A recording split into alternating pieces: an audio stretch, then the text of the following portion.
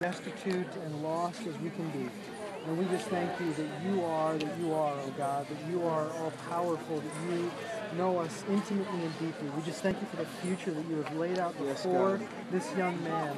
That not only would you do this work in him, but you would do this work through him in the name of Jesus Christ. Yes. I thank you for the lives that he will touch. That this day is not just about him or just about you, Father God, but it's actually about all of those that you love, that he uniquely has the opportunity touch. So I just Yes. thank you that you continue to empower Yes. him by your Holy Spirit, Yeah.